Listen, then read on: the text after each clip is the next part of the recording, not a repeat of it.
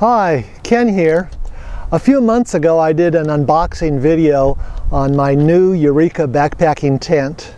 Now, four months later, I want to let you know that I still love it. It's easy to set up, it's self-standing, uh, it's roomy. My only criticism is that it didn't have a porch. It didn't have a place to store my gear.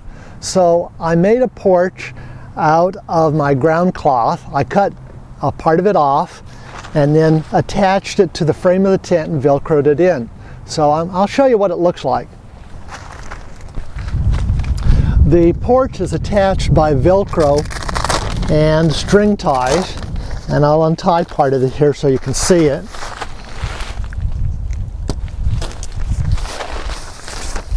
Let me loosen this up. There it goes. Okay, disconnect the Velcro.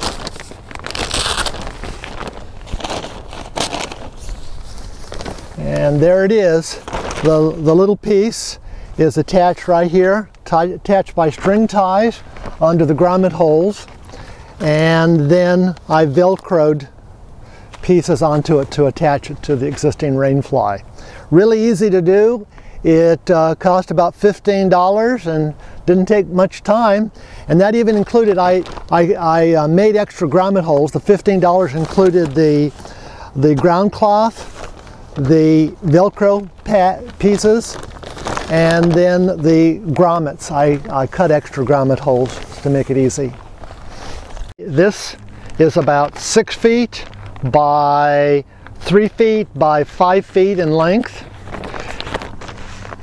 The holes that I made uh, with, with grommets and strings attached to the frame and then the velcro attaches to the rainfly. See the description uh, written below for more details on how I constructed the porch.